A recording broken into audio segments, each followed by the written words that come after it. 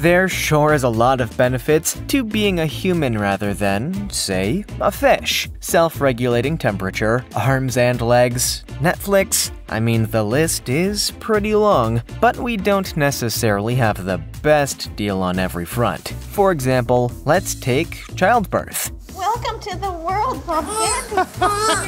Have you seen just how much that sucks for a woman to go through? Maybe you have actually done it yourself. Heck, maybe you are giving birth while watching this video right now. Now that would be pretty crazy. The point is that it would be a lot easier just to drop a few million eggs onto a leaf and then use hand-to-hand combat to fight off any predators until they are old enough to go to school. But that's just not how things worked out, I guess. All the more reason to take a look at the fascinating ways fish get the job done, from the fish that has a real mouthful to the ocean's smoothest seducer. This is how these 15 fish lay eggs.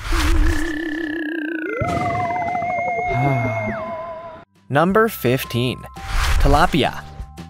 The tilapia kind of sounds like some sort of dessert, but in fact, it is a kind of fish, which is something you probably guessed due to the theme of this video. In fact, it is known as the Mozambican tilapia because it lives in Mozambique but it also hangs out in Malawi, South Africa, Swaziland, Zambia, and Zimbabwe. So it's a pretty cosmopolitan kind of fish. This fish is polygamous, which means it's kind of a free love sort of fish, not the sort of fish that you find at church on Sunday. And it likes to reproduce all year round, so tilapias know how to have a good time. And more evidence of this is that tilapia are mouth brooders. This means the female gathers the eggs in her mouth, and then the males fertilize them there, which is great news for tilapia dudes who are all about third base. The female then carries the eggs in her mouth while they incubate, sometimes spitting them out so she can feed, before gathering them back up again until they're good and ready to take on the ocean all by themselves. Before we go on, like this video, smash the subscribe button, and click the notification bell right now, or this centipede will crawl on your face when you're sleeping.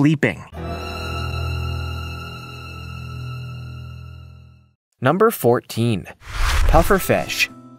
The white spotted pufferfish knows how to put on a pretty impressive show when it comes to impressing a female. They create the most incredible geometric patterns in the sand, showing off just how good their design skills are. To the female pufferfish, there's nothing more erotic than an architect. As you can imagine, building structures out of sand and underwater is a thankless task to maintain his love nest, otherwise it will be washed away. But if he perseveres, a female might consider checking out the nest. If she likes it, they kind of hook up and vibrate together. To grab a female's attention, he creates something that almost defies belief.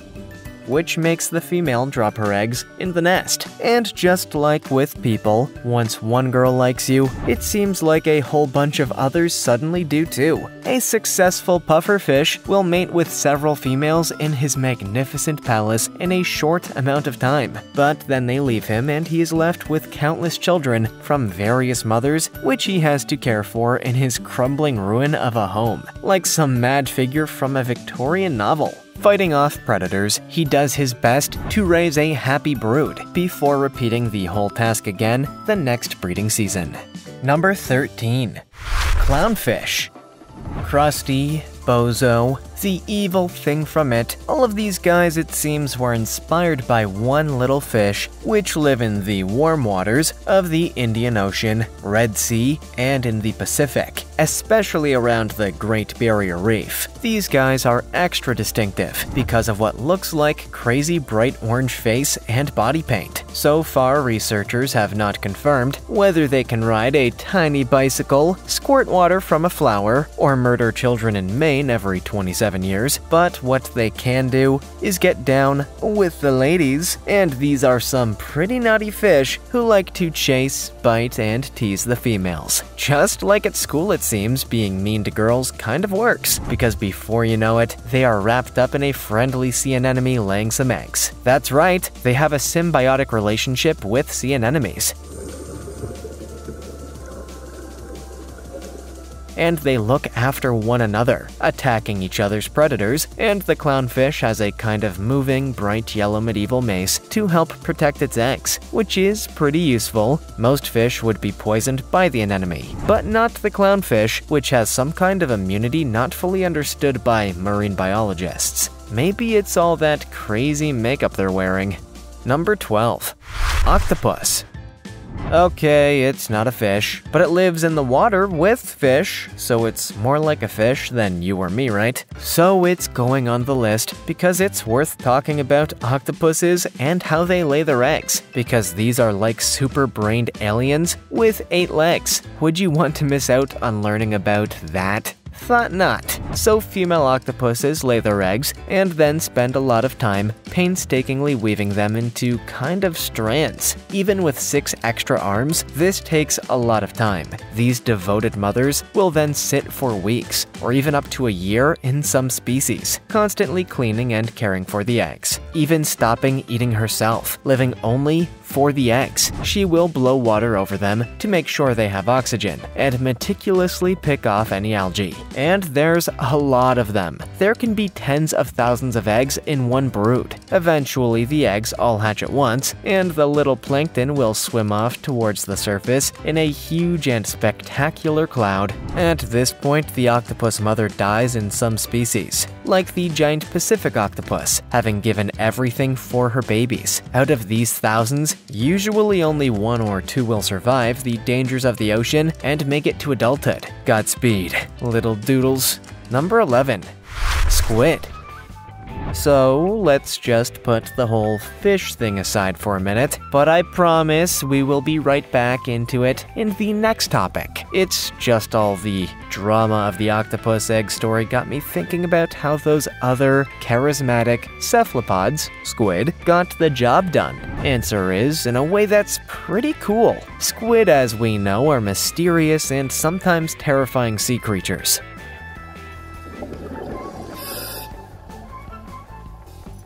Next time you're on an overnight boat ride, head up on deck and scream, Release the Kraken! as loud as you can, and you'll see what I mean total panic. Take it from me. Anyway, we don't even know how big giant squid really get, as they are pretty mysterious, other than when they eat a whole warship or something like that. When they reproduce, they lay their eggs into egg cases, and all the squid moms will pull the egg cases together, so it looks like a flower. After that, the baby squid are pretty much up against it by themselves, as both parents die soon after mating. It's exhausting.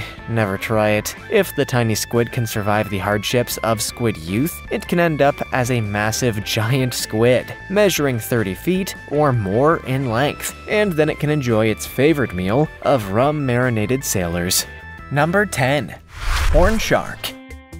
A lot of sharks, in fact, most of them, give birth to live young. But some species, like all nine species of horn shark, lay eggs instead. Through spring and summer, the Californian horn shark will lay two eggs about every 14 days. And they come out in a crazy spiral shape that looks like an auger bit from an electric drill. They start off kind of soft, but then get harder. This amazing shell is made from the same stuff as human hair and fingernails. Inside is a fertilized egg, and a pretty well protected one too. You'd think having a shark for a mom would be cool, but unlike the octopus, these blase mothers just head right off straight after laying their eggs, leaving the baby shark to fend for itself. They get wedged in rocks and are pretty well protected there, although whelks have a special tool for drilling into shark eggs and slurping up the yolk. After around 7 months, the shark's picnic hamper runs dry, and it's time to bust out of the egg and start looking for stuff to eat. And so the life of a new horn shark begins. Number 9. Anglerfish.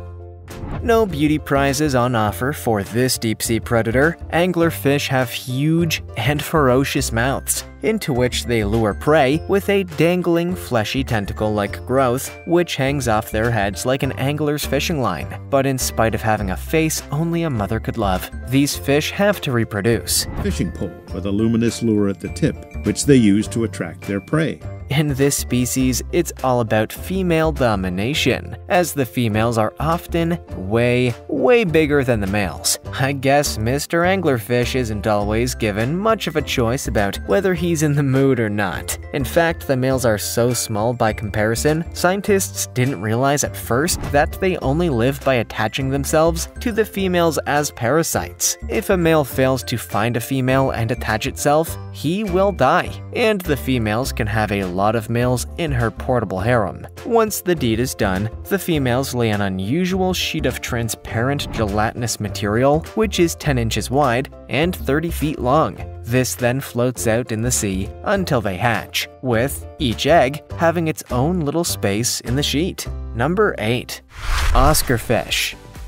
Oscar fish are known to aquarium owners as being among the most intelligent fish breeds adapted to aquarium life. They have great memories and can even be trained to do tricks. Oscar fish can also distinguish between different people and know which one is their owner. Pretty impressive. They come in a variety of colors, most popular being black with bright red scale colorations.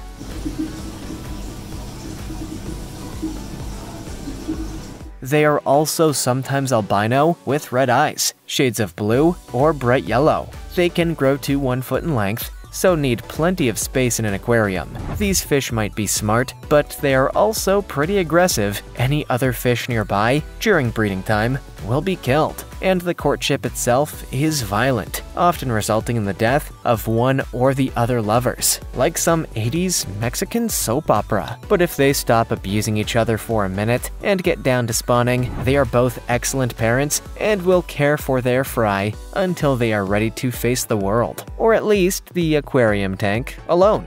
Number 7. Arowana if you're starting to get the impression that a lot of fish are kind of crazy when it comes to romance, you'd be right. Here's yet another fish that relies on violence as its main aphrodisiac, chasing and biting each other as courtship. Arowana just love to hurt each other. What kind of issues do fish grow up with? We need an aquatic Sigmund Freud down there to figure out what is going on. That we're filled with that slime, with that mucus that covers the entire fish. After the BDSM session is over, they will lie down side by side, which is a lot cuter. If anyone else comes near, they will attack them as a team, just to show they haven't quite done with all the violence just yet. When the female is good and ready, she lays a slow stream of eggs on the riverbed, which the male then fertilizes. After he's done that, he puts them all in his mouth. Uh, gross. This is where the eggs will hatch, and little by little the young arowanas venture out into the water before returning to daddy's mouth. If this seems like amazing fathering, it's not all good news. Sometimes dad accidentally swallows a few of his babies. Accidentally, yeah, right, sure. Number 6. Siamese Fighting Fish the Siamese fighting fish is also known as a betta fish. So when you are with your aquarium buddies and they are bragging about whatever cool fish they have, you can just keep saying, That sounds awesome, but I have a betta fish. It will make you a lot of friends doing this. Anyway, when a betta fish wants to reproduce, the male will build a bubble nest, and this will float to the top of your tank. Before you know it, you'll have a whole cluster of babies, and you will know some baby fish aren't far behind. The male will then just hang out under his sweet nest of bubbles and wait for a female to come by. One will eventually show up, and if his bubbles look good, she'll mate with him, and then he'll take the fertilized eggs and push them into these little bubbles, one by one. Inside is plenty of oxygen, and it's good and clean. Now the male betta fish turns into a guard dog, protecting his bubbles full of babies with his life, not to mention pushing them back if they fall out. Once the fry are out of the nest, the dad betta fish will decide he's got beta things to do and leave them to figure it all out by themselves. After a joke like that, uh, can you blame them? Number 5. Jewelfish. The jewelfish is a pretty brightly colored fish from Africa, which looks like it is covered in bling. They are popular in aquaria due to their cool coloring. But this little African guy is seriously aggressive. As usual, they get to know one another by beating the hell out of each other, but once respect for the other's rage has developed, jewelfish form a pretty tight bond. In fact, they develop a shared love of attacking other fish, even other jewelfish, becoming a kind of underwater Bonnie and Clyde. Somewhere in the midst of their spree of violence and killing, they find a moment to get intimate, and once things have hit the spot, they will begin caring for their eggs. They are suddenly full of tenderness once the eggs are out, sharing parenting duties like any 21st century parent is supposed to do.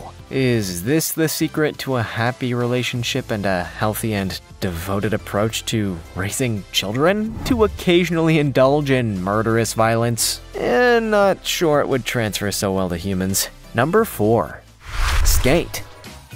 The Pacific white skate is a relative of sharks and rays. Colored all white, it lives pretty deep in the ocean. In fact, it's the deepest living skate of all, living up to 7,500 feet below the surface. This means they're pretty hard to study and get to know, being nearly 2 miles below. But scientists did manage to catch a glimpse of one recently and were able to learn some cool new things about how it cares for its eggs. In 2015, a remotely operated vehicle made its way around the Galapagos Marine Reserve and discovered a whole pile of Pacific white skate egg casings all nestled around a hydrothermal vent. The robotic arm of the submarine picked off four of them, so we could take a closer look. The most interesting aspect is the skate's use of these vents as a kind of nursery. In very deep and cold water, incubation takes a lot longer, but it's possible the warmth and nutrients provided by the vent help to speed things up a little. Still, the skate has to keep an eye on her eggs for at least four years, scientists have estimated. One day, maybe we will know more about these bug eyed, deep water cousins of sharks and their amazing egg nurseries. Number 3. Jawfish. Jawfishes use their relatively large jaws to burrow under the sand, which is where they like to live. They don't grow too big, and the biggest jawfish species can reach around a foot long, although most are way smaller. Jawfish are part of a small group which includes seahorses, pipefishes, and cardinal fishes, in which the male plays the role of mother. They are mouth brooders, and this means that it is the male who brings up the little fish to term. Females dump all their eggs in the water. Then the males have to pick up pretty much the rest of the slack. First, they have to fertilize them, and once that is done, yep, in the mouth. He keeps them in for up to several weeks, not eating, focusing his energy on juggling the eggs around his mouth to aerate them, like having too many hard candies in your mouth. Once he's done, the kids aren't getting any further help. Jawfish fry are anything but trust fund babies. They are out on their own from day one. Scientists don't really know why males take responsibility for brooding, but it may allow females to rest and go out and find new partners more quickly, and so reproduce more. Number 2. Apple Snail Apple snails are a kind of aquatic gastropod. And yeah, it's not a fish. But do you seriously want nothing but fish all the time? This is a cool snail, so let's get on with it. They are a freshwater species and are unusual because they have both a gill and a lung, meaning they are truly amphibious. They are a pretty common aquarium animal, and they are considered a delicacy in Mexico, where they are known as tegogolo. But you probably shouldn't just snack on ones you find in your friend's aquaria. It would be rude for a start. Before they get down to mating, they like to bury themselves in mud to make sure they are good and ready for all the effort. Then, once the deed is done, female snails can store male sperm for months keeping it ready for when she feels like going through the whole ordeal of having kids. A pretty convenient system. Over several weeks, an apple snail can produce a clutch of eggs every 4 to 7 days, over the course of several weeks, meaning that the numbers could get pretty big. Better invest in some high rise blocks for that snail tank. Number 1. Splash Tetra.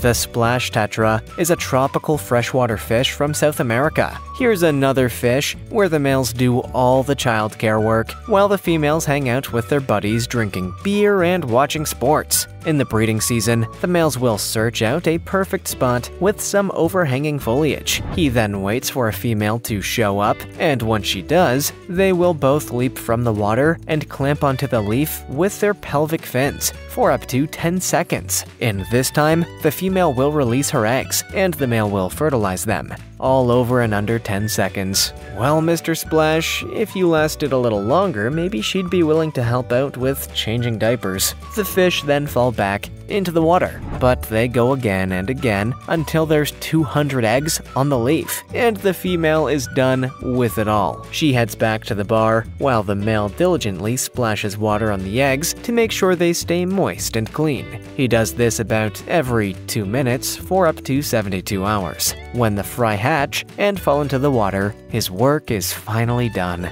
Did you ever imagine fish reproduction being so fascinating? Would your ideal relationship be anything like any of these underwater creatures? Let us know in the comments below. Also, check out our other cool stuff showing up on screen right now. See you next time.